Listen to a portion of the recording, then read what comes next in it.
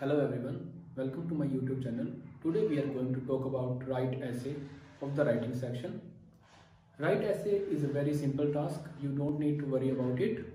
We will provide you a template which will help you to achieve your score. Write essay is the second part of the writing. First one is summarize written text and the second one is write essay. In write essay you have to write 200 to 300 words in 20 minutes. In the exam you can have one or two essay. In essay you have no rollover time. Means if you complete your essay before 20 minutes then the remaining time will not be given in the next task.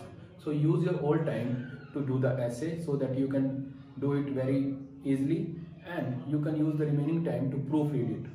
Now let's talk about the scoring section of the essay. Let's get started. Now let's talk about the scoring or marking criteria in writing essay.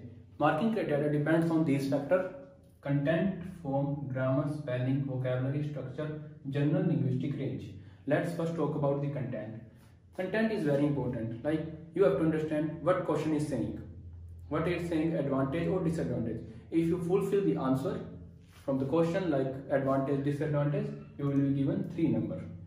Let's talk about the form. It is simple. If you write your essay within 200 to 300 words, you will be given two numbers. I suggest you write 260 or 70 words.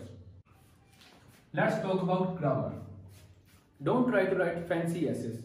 Use only simple language. So you will be given two number if you don't make any mistake.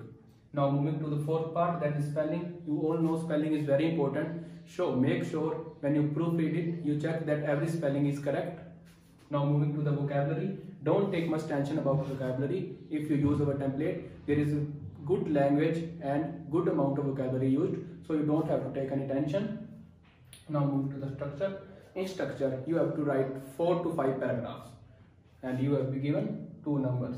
Now moving to the last section that is the general linguistic range. It is for that like what you have write. You have write in understandable form. The computer is trying to understand it and you will be given two numbers. Now let's talk about what point to remember while writing essay. The first and the foremost point to remember is use one or two minutes to read the question very carefully so that you can get all the knowledge like what is trying to say. Second point is write keyword. When you read it, write keyword. So when you write your essay, you don't have to think much about it. Third point, write your answer in 15 minutes. Write your answer in 15 minutes so that you have this remaining time. Last but not the least point is use the last 3 minutes to proofread it.